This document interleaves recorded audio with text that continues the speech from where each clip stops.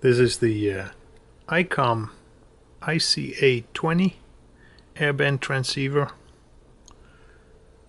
I have it scanning a couple of channels here in, uh, in the area. The uh, radio has 16 memories. I programmed about 8 of them.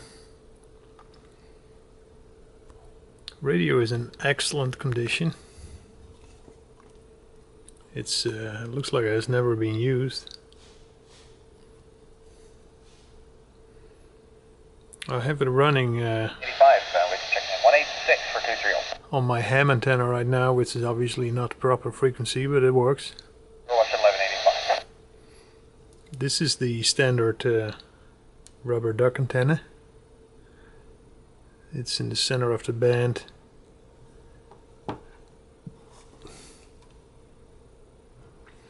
I have a, uh, a battery case that allows you to put your own batteries in there. Um, double A's, I think it is. I have a, a similar one here to show you that. There is an internal charge circuit. You can also charge it from the standard ICOM chargers.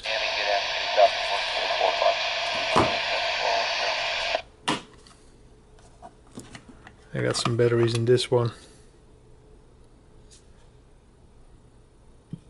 But uh, the radio has the same case, but I did not put any batteries in there. It runs from the uh, from an external power supply right now, 13.8 volt. It has a jack for that. Radio has uh, has high power, low power. There is an ANL that can be turned off. Squelch, obviously.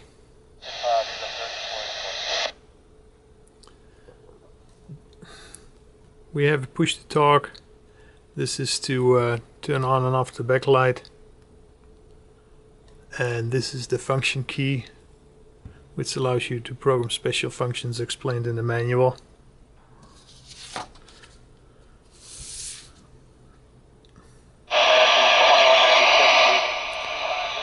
Radio uh, covers uh, uh, one, uh, 108 to 135.975, so that's both the nav and the com band. It is capable of uh, of uh, locating VOR function, I think they call it.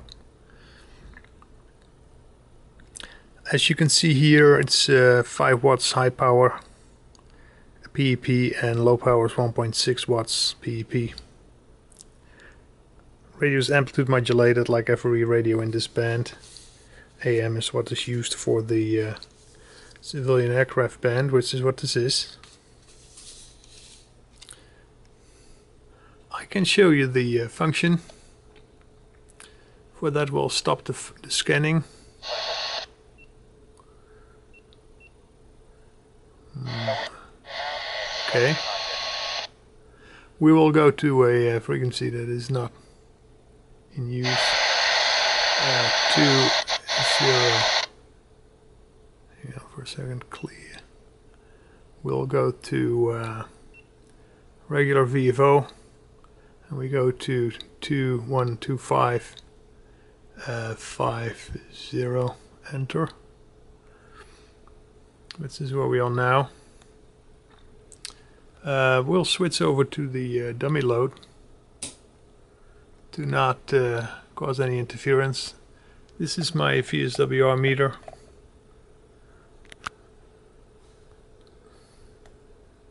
This is uh, low power.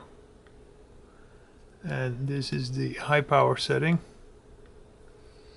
In order to uh, demonstrate you that, I'll uh, will use a second VHF radio and uh, tune that to the same frequency.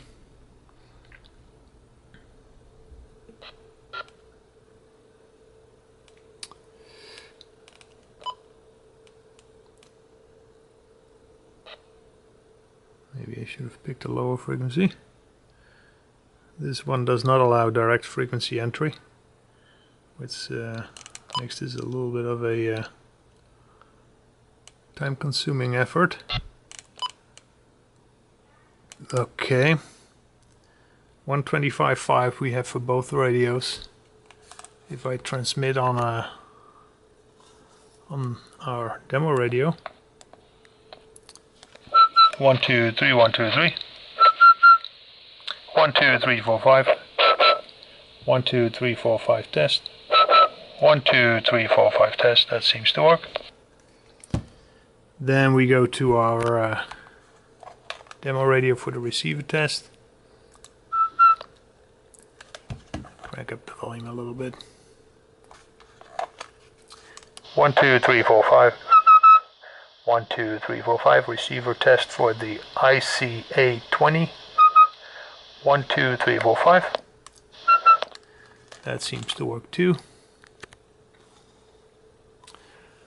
Okay, let's go back to the external antenna and see if we still have some traffic.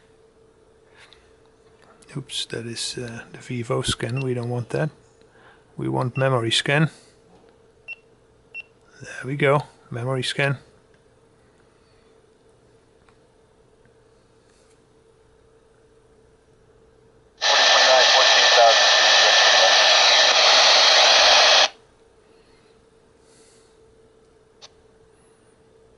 Thirteen thousand ninety-six, so we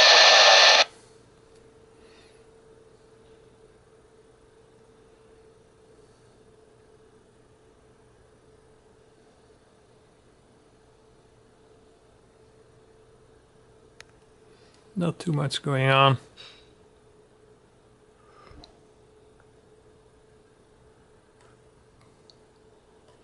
So this would be the charger input.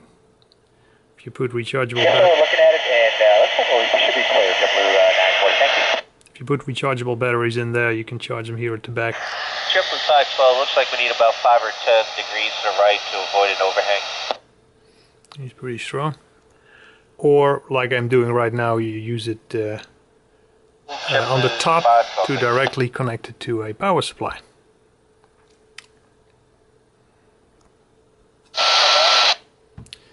The ICOM IC-A20, a uh, VHF VHF NAVCOM radio. Excellent condition. Works perfect.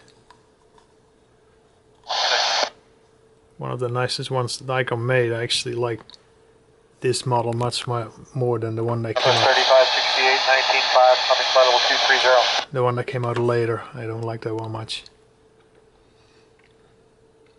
Thank you for watching this video.